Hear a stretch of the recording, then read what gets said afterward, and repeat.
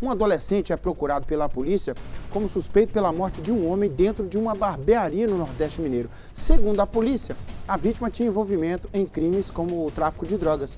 O suspeito faz parte é, de um grupo criminoso na cidade de Medina, é o que diz a ocorrência. Né? O Fantônio tem detalhes para a gente, vai falar aqui.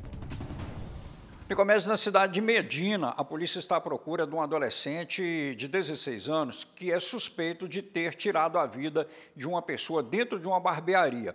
A vítima estava no estabelecimento e no momento em que o adolescente chegou montado em um cavalo e efetuou o disparo. Em seguida, o suspeito fugiu da mesma forma como chegou ao local a, as pessoas que estavam dentro do estabelecimento contaram apenas que viram uma pessoa chegar e atirar e fugir. Não deram nenhuma, não deram mais características. Mas a polícia fez levantamentos com outras testemunhas, identificou esse adolescente que faz parte de uma quadrilha, uma gangue conhecido como Fundo do Campo, na cidade de Medina, e agora a polícia está à procura desse adolescente para que ele seja localizado e esclarecer. Vale ressaltar que, segundo informações, a vítima tinha registros policiais, mas tudo isso vai ser investigado agora pela Polícia Civil para saber qual é a relação, qual é o interesse, a motivação desse adolescente tirar a vida do cidadão que estava dentro da barbearia no centro de Medina, Nicomedes.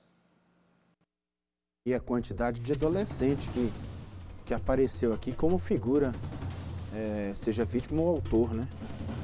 No que a gente contou aqui, né? A adolescência prevaleceu aqui no noticiário hoje, hein?